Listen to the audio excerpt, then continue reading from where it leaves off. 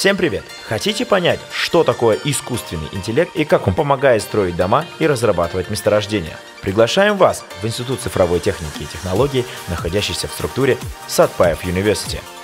Именно здесь создаются информационные системы для различных отраслей экономики Республики Казахстан с применением алгоритмов искусственного интеллекта. Какую же роль в этом играет искусственный интеллект? Предлагаем представить, что искусственный интеллект – это Ули. Необычный образ, согласитесь. Почему именно он? Все просто. Ули – это единый живой организм, который четко работает и находится в постоянном развитии. На его примере я объясню вам сложные вещи просто. Давайте же узнаем, как искусственный интеллект задействован, например, в строительстве. Он не строит дома самостоятельно, но полностью контролирует этот процесс. Чтобы построить дом, искусственный интеллект должен видеть и анализировать увиденное. Делает он это с помощью дронов, датчиков и камер, которые регистрируют все происходящее и передают в центр управления.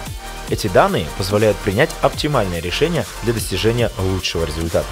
Но перед этим искусственный интеллект просчитывает, как это решение повлияет на скорость строительства, надежность и безопасность обрабатываются огромные объемы данных. Более 48 триллионов операций в секунду. Ни один человек не может думать и принимать оптимальные решения так быстро. Рассмотрим, как реализованы идеи института, например, в работе крупнейших строительных холдингов Казахстана.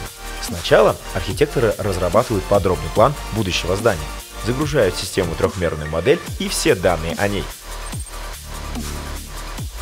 После того, как строительство началось, искусственный интеллект контролирует все – финансы, материалы, работу.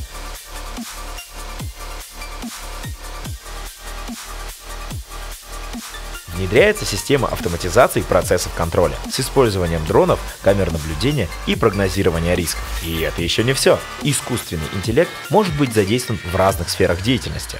Что вы знаете о цифровых двойниках?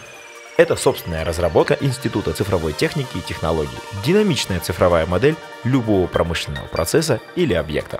Идея цифровых двойников легла в основу интеллектуального управления работой целого рудника. Давайте посмотрим, как это реализовано в работе крупнейшей добывающей компании.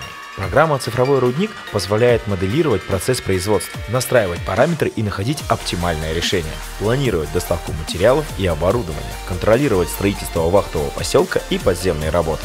По такому же принципу работает и программа «Цифровой карьер», Искусственный интеллект при этом координирует деятельность 20 тысяч сотрудников по всей России.